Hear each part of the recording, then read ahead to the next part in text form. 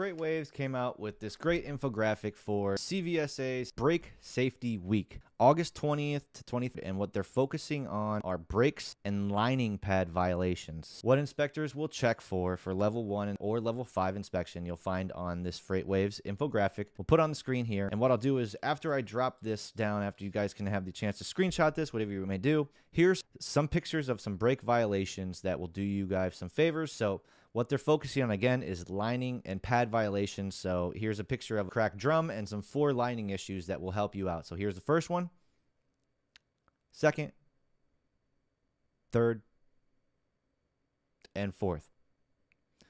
These are some examples of the violations that will be given during this week. Of course, it's August 20th to 20th year, CVSA's Brake Safety Week. Leave your comments below. Let me know what you think and if this is helpful. Thanks, everybody.